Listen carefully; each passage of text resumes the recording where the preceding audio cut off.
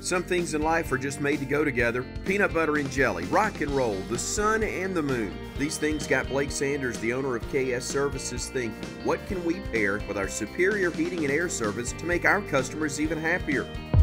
Plumbing Experts by KS Services was born. So the next time you have a clogged line, leaky faucet, or water running all through the house, know there's a reputable company out there on call just a click away. Call KS.com, your trusted source for heating and cooling and now plumbing.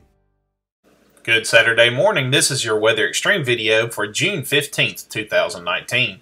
I'm meteorologist Scott Martin. Heat and moisture levels climb today as we'll have a southerly flow over central Alabama with rain returning to the forecast starting on tomorrow. More on that in just a moment. At 6.50 a.m. this morning, we can see some clouds mainly over the northern half of central Alabama, while the rest of the area is getting to enjoy the sun coming up without clouds blocking the view. Temperatures are starting off in the lower 60s to the lower 70s across central Alabama. Birmingham is the warm spot at 72 degrees, while several locations were tied as the cool spots at 61 degrees. We currently have no watches or advisories in effect across central Alabama this morning, and we do not expect any severe weather across the area today as the SPC has us free from any risk levels. Rainfall estimates over the next week from the WPC show that we have the potential of 1.5 to 2.5 inches across the area. That is not a guarantee, as you will see in the forecast, that showers and storms will be scattered in nature. Speaking of the forecast, here is what to expect for this weekend and throughout the work week ahead. With a low out to the west and a high just off the coast of North Carolina, we'll have a southerly flow across central Alabama through the day today. That will pull in more Gulf moisture and warmer air across the area. Skies will be mostly clear to partly cloudy and highs reaching the upper 80s to the lower 90s across the area.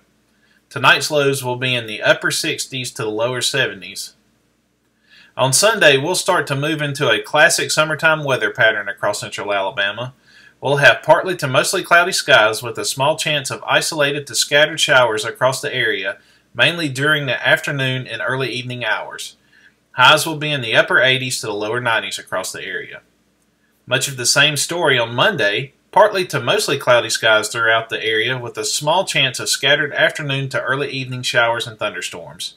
Highs will be in the upper 80s to the lower 90s across the area. Rain chances will increase on Tuesday as we'll have a disturbance that will be slowly passing to our north.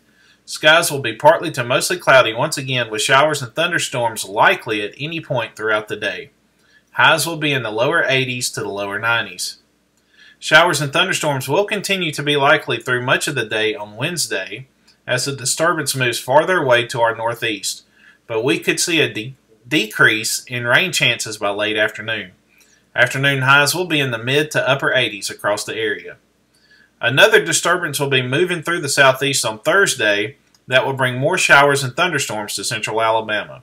It's too early to be sure at this point, but we could see an increase in shear levels with this system. Combine that with already higher instability levels that we have during the summer months, and we could have some stronger storms develop throughout the day. We'll keep an eye on this throughout the weekend. Highs will be in the mid to upper 80s. The disturbance is out of here by Friday, and we've returned to a more typical summertime pattern for central Alabama.